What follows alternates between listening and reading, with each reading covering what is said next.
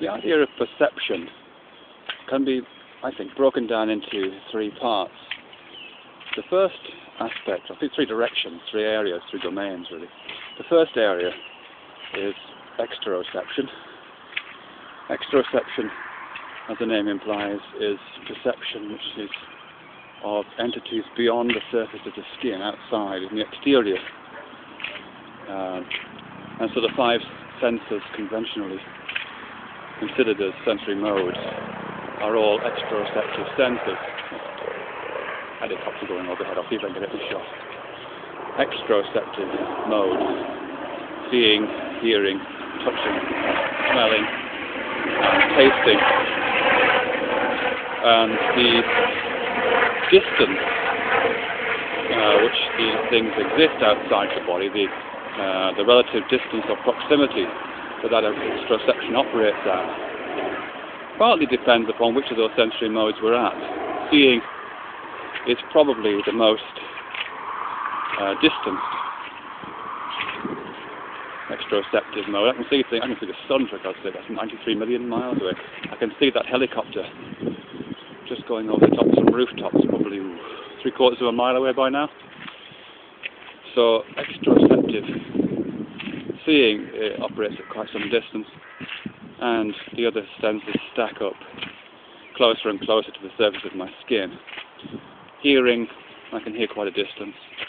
I can still see the helicopter actually, but I can't hear it any longer. When things get a bit closer, I start to smell them. Um, when they get within about two feet of me, I can touch them and grasp them. And when they get really up close and personal, I can taste them, of course. Taste is a funny one because that's it's almost inside my body. It has to be inside my mouth certainly for me to taste it, but I can spit it out. I still have some control. So those are the extra, uh, ex, exteroception. The internal side of perception, the domain that operates within the body, interoception, is those feelings that we're most of the time not really aware of unless they change dramatically.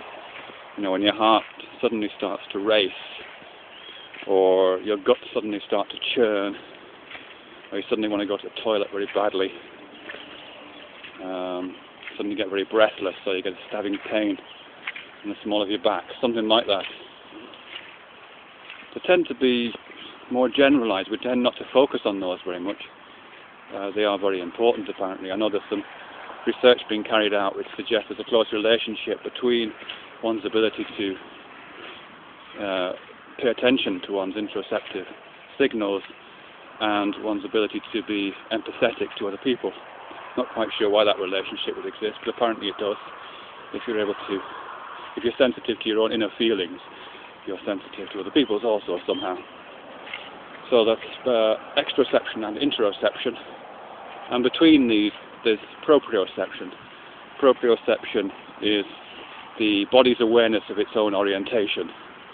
So I'm aware, for example, that I'm holding this camera uh, about 18 inches from my face, and even when I close my eyes, I can still feel my arm supporting that camera. It's starting to actually. actually.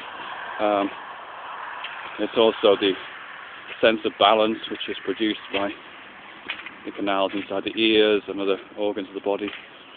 Uh, as I understand it, there are sensors in all the joints and in the muscles which give indications of uh, position, relative location, uh, tension, those kind of things.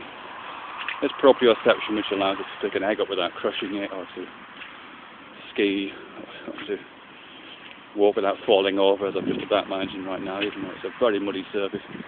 Um, yeah, proprioception seems to be a kind of boundary state between exteroception and interoception. The orientation and positioning of the instrument of perception.